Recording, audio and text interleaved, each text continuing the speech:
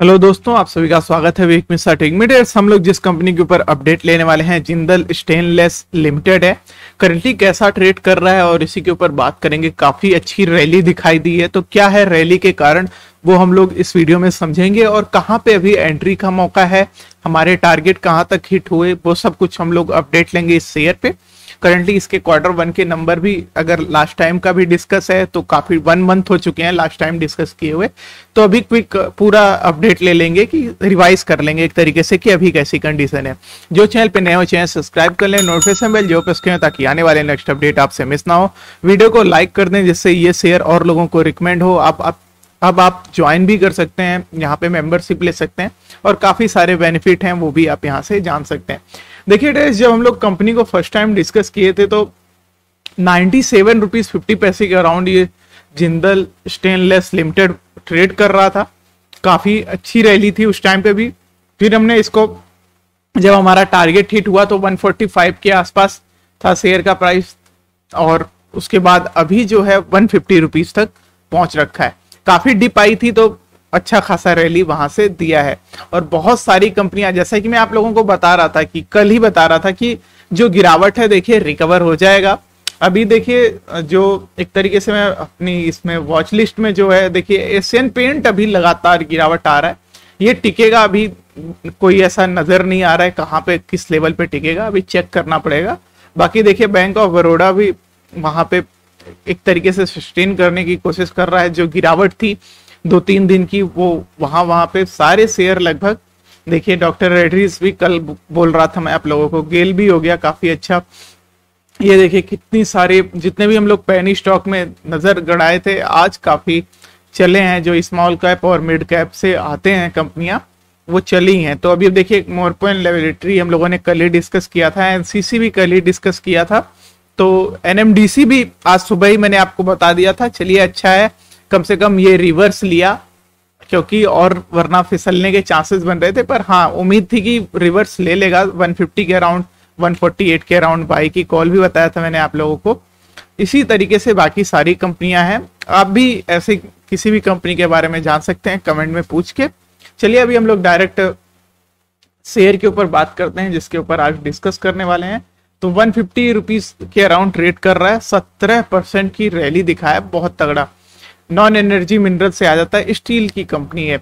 देखिए स्टील के जितनी भी स्टील सेक्टर की जितनी भी कंपनियाँ हैं ट्रेड सारी की सारी बहुत ज़्यादा ही रिटर्न बनाई है। पिछले 12 महीने में कह लीजिए कि इनका जो प्रॉफिट ग्रोथ है, बहुत ही तेज़ी से ग्रोथ हुआ है। क्योंकि मेनली इन्होंने प्राइस इंक्रीज कर दिए और फिर काफ़ी टाइम बीच में जो था कि एकदम सप्लाई बंद थी प्रोडक्शन बंद थी तो उसकी वजह से जो अचानक से डिमांड बढ़ी है, उसके उनमें इन्होंने अपने प्राइस भी काफ़ी तगड़े इंक्रीज कर लिए हैं।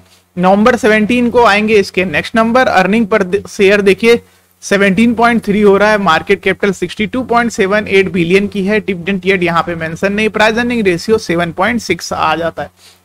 इस हिसाब से इसकी करंट कंडीशन चल रही है ट्रेस ये देखिए, जो डिप आई थी डायरेक्ट एक ही बाउंस के साथ रिकवर हो गई।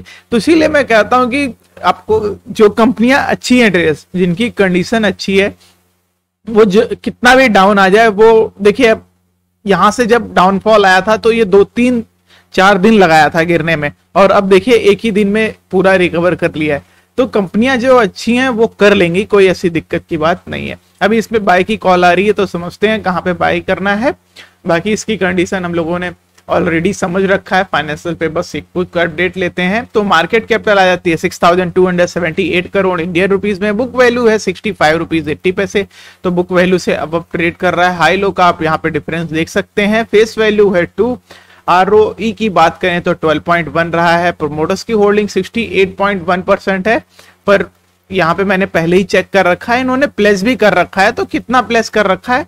Eighty seventy sixty eight point one percent का वो अभी मैं आपको बताता हूँ। ये देखिए, जो आपको मैं कह रहा था, पिछले बारह महीने में जो प्रॉफिट ग्रोथ है कंपनी की वन थाउज़ेंड परसेंट से भी ज़्यादा ग्रोथ है।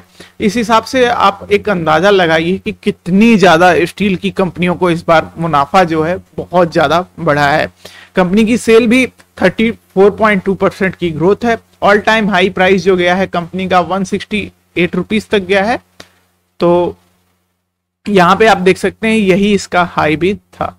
रिटर्न ऑन एसिड 3.32 आ जाता है और इस बार के नंबर जो है मतलब मार्च वाले से 4.7 परसेंट की उसमें भी ग्रोथ है। आपको मैं ये चीज़ जो बताना था मेंशन करना था, वो बता दूँ कि ये देखिए 86.64 परसेंट जो होल्डिंग्स है, वो प्लेस कर रखा है। अब देखिए लोन लेना कोई बुरी बात नहीं है, पर उससे अगर कंपनी को फ़ायदा होता है तो बहुत अच्छा हो जाता है। अगर उससे लोन से अच्छा नहीं हो पाता। घाटे में रहती है, फिर भी तो नुकसान हो जाता है। तो पर ये दो पहलू हैं, ये लॉन्ग टर्म बेसिस पे ही पता लगते हैं। फ़िलहाल तो कंपनी अच्छा कर रही है तो हम लोग अच्छा मान के इसको चलते हैं। अगले क्वार्टर के नतीजे जो आने हैं, वो बताए जा रहे हैं। अच्छे आएँगे डेप्थ पहले से रिड्यूस है। बाकी कंपनी को लगातार प्रॉफिट हो रहा है, पर डिविडेंड नहीं दे रही है। तो अभी खुद ही लोन से जूझ रही है तो कहाँ डिविडेंड देगी? आप समझ सकते हैं। तो इस हिसाब से इसकी कंडीशन है, पर अपने आप को मज़बूत करने में कंपनी लगी हुई है। आप इसका ट्रेंड भी देख सकते हैं पॉजिटिव है, काफ़ी अच्छी मूवमेंट के साथ।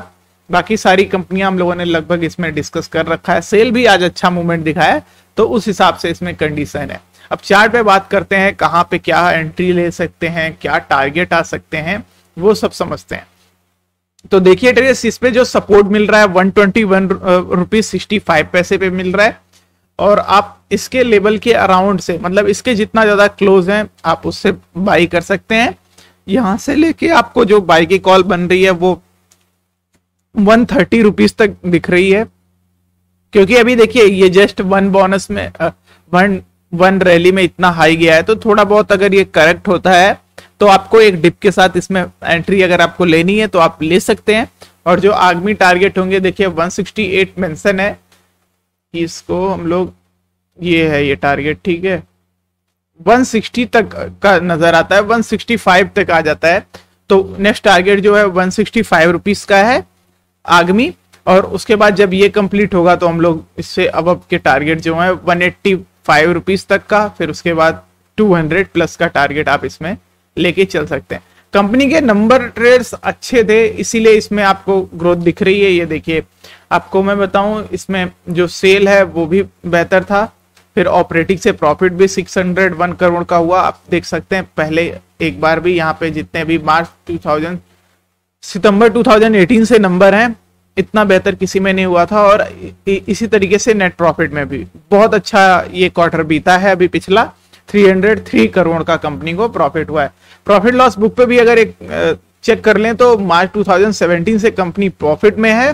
और लगातार प्रॉफिट के जो नंबर हैं, वो बढ़ रहे हैं। आप देखिए यहाँ पे कोई कोई ईयर इसका खराब गया है, जैसे मार्च 2017 हो गया 20 भी हो गया। मार्च 21 जिसमें लॉकडाउन और बाकी सारी चीज़ें थी, वहाँ पे भी कंपनी ने 419 करोड़ का प्रॉफिट बनाया। और अभी 12 महीने का बात किया जाए तो वहाँ पे 844 करोड़ का प्रॉफिट चल रहा है। तो कंपनी फाइनेंशियली अच्छी दिख रही है, कोई ऐसी दिक्कत की बात नहीं है। बाकी आपको शेयर होल्डिंग पैटर्न एक बार मैं बता देता हूँ। तो यहाँ पे आप देखिए share holding pattern 68.12 percent promoters के पास है, जिसमें से 86 इन्होंने प्लस कर रखा है। बाकी एफ़ की होल्डिंग आ जाती है। एफ़ ने अपनी होल्डिंग इंक्रीज किया है। 6.01 पॉइंट की आ जाती है। पब्लिक की 11.11 है। तो इस हिसाब से ठीक ठाक होल्डिंग शेयर पैटर्न नज़र आते हैं। और आपको मैंने टारगेट बता दिया है, अगर ये रैली कंटिन्यू रखता है तो वन सिक्सटी फाइव रुपीज़ वाला जो टारगेट है, वो इसी वीक आ सकता है। फ़िलहाल यही था इस शेयर के ऊपर update thanks for watching this video मिलते हैं आपको नेक्स्ट कंपनी के साथ नेक्स्ट वीडियो में।